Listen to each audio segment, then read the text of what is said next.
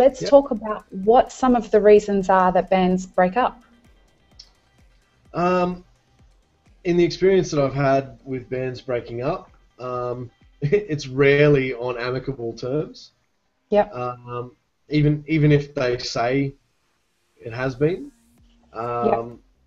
a lot of the times it's it's because they feel at least at least one person in the band isn't pulling their weight, um, and whether that's creatively, um, or whether that's uh, you know they didn't help pack out, uh, you know, load out at the end of the night, um, you know, a couple of nights in the row in a row, or um, you know, they haven't been able to agree on, you know, things like either within the songs or within their business. So, you know, what, you know, perhaps the the way they market themselves, I can't agree on that, um, or whether you know it's how they divide their money.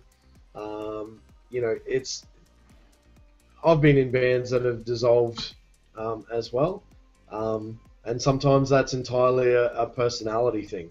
Um, perhaps in the end, it's you just cannot, you know, abide by that person's personality anymore. Um, and so that's that's a fairly deep-seated one. But I think, you know, um, more often than not, it comes down to uh, how people conduct themselves in business and sometimes people just don't have quite the right ideas and they let the creative side impinge on how they do business as well.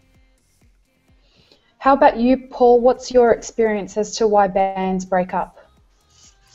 Um, yep, but, uh, I completely agree with Tim. Um, you know, bands are like a marriage, really. You know, you, you're together so much of the time with your rehearsing, with your touring, um, and instead of being two of you, there's usually four of you. You know, so it does take a special band that can get through, particularly the tough days, um, even though they're often the best days. To get through on you know minimal income, trying to stay alive, um, the grind of touring, um, uh, and money can often be the scenario. And I've found over the years the thing that can often break up bands is success. That um, yeah, yeah, it's it's it's funny how um, suddenly things can start to happen for a band where they they're out of the, the grind and they might have a hit record and they're they're out on the road and touring and and then a lot a whole lot of other things start to come into play um, in terms like of what?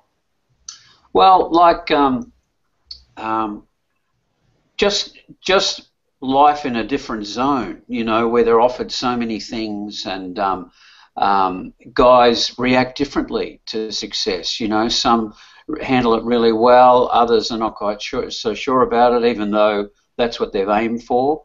Um, and it can be um, often as stressful as um, uh, not being successful. And um, and it's it's it's one of those things that uh, again you've got different people reacting to different scenarios, and it takes a really strong-minded group of guys or girls to to keep the focus on what they're doing. Um, the other thing that does happen often with success is that uh, one person is seen to be making a lot more money than the others, and it's usually the songwriters, and um, that can be a source of um, angst for the non-songwriters, which is probably one of the things we're going to talk about as far as yeah. How bands should organise themselves financially. Because if you do have it worked out early and you've got the, the financial position in place early, when success does come, you do have a better chance of sorting things out than if you don't have anything.